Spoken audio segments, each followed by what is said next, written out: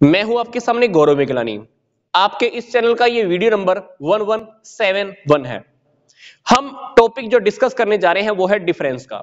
Difference between income and expenditure account and profit and loss account. इन दोनों topics में क्या difference है? Point number one, objective को लेकर। इनकम एंड एक्सपेंडिचर अकाउंट का जो टारगेट क्या होता है? ऑब्जेक्टिव क्या होता है? हमें यह पता चल जाता है कि excess of income over expenditure या excess of expenditure over income ये हमारा यहाँ पर टारगेट होता है। जबकि प्रॉफिट एंड लॉस अकाउंट का जो टारगेट होता है, वो नेट प्रॉफिट या नेट लॉस आइडेंटिफाई करना होता है। ये बिज़नेस कंसर्न्स होती हैं, इनका टारगेट सिर्फ़ प्रॉफिट कमाना होता है। तो ये बस यही जानना चाहती हैं कि हमारे बिज़नेस में नेट प्रॉफिट हुआ है या नेट लॉस हुआ है।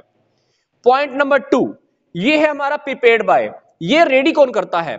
इनकम एंड एक्सपेंडिचर अकाउंट ये रेडी करती है एनपीओस बोले तो नॉट फॉर प्रॉफिट ऑर्गेनाइजेशंस ऐसी ऑर्गेनाइजेशंस जिनका टारगेट प्रॉफिट कमाना नहीं होता। तो ये ऑर्गेनाइजेशंस ये रेडी करती हैं। क्या? इनकम एंड एक्सपेंडिचर अकाउंट क्योंकि इनका टारगेट होता है सर्विस देना। लोगों के बेनिफिट के लिए काम करना। चैरिटेबल ट्रस्ट चलाना। चैरिटेबल हॉस्पिटल चलाना। कुछ डिस्पेंसरीज खोलना, जहाँ पर लोगों को फ्री सर्विस दी जाती है या बहुत ही कम कॉस्ट के ऊपर। जबकि प्रॉफिट एंड लॉस अकाउंट कौन रेडी करता है? ट्रेडिंग कंपनीज़ ऐसी कंपनीज़ जिनका टारगेट प्रॉफिट कमाना होता है। आपने देखा होगा बिज़नेस ऑर्गेनाइजेशन चाहे वो सोल ट्रेडर है, चाहे वो पार्टनरशिप है, चाहे कंपनीज़ है, इनका टारगेट होता है प्रॉफिट कमाना। तो डेफिनेटली ये लोग क्या करते हैं? Profit and loss account ready करते ही हैं, क्योंकि इनका टारगेट प्रॉफिट प्रॉफिट और प्रॉफिट होता है। इनकम एंड एक्सपेंडिचर अकाउंट किसके बेस पर प्रिपेयर किया जाता है? इसको बनाने के लिए, इसको रेडी करने के लिए हमें रिसिप्ट एंड पेमेंट अकाउंट की हेल्प लेनी होती है प्लस कुछ और इंफॉर्मेशन भी हमको मिल जाती है। इस इंफॉर्मेशन के बेस पर हम ये रेडी कर लेते हैं।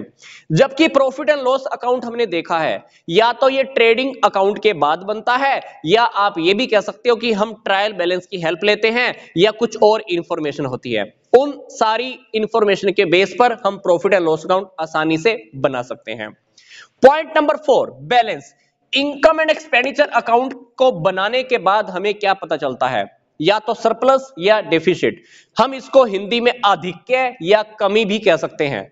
अगर मैं प्रॉफिट एंड लॉस अकाउंट की लैंग्वेज में बोलूँ तो आप इसको यहाँ पर क्या बोलते हो? नेट प्रॉफिट या नेट लॉस पर एनपीओ के अंदर जो ऑर्गेनाइजेशन जिनका टारगेट प्रॉफिट कमाना नहीं होता, अगर वो कंपनी ये बनाती है तो उनको जो नेट प्रॉफिट या नेट लॉस फाइंड आउट करना होता है, वो उस नेट प्रॉफिट को तो क्या बोलती हैं? सरप्लस नेट लॉस को वो लोग क्या बोलते हैं? डिफिशिट बोलते हैं. अधिक्य या कमी.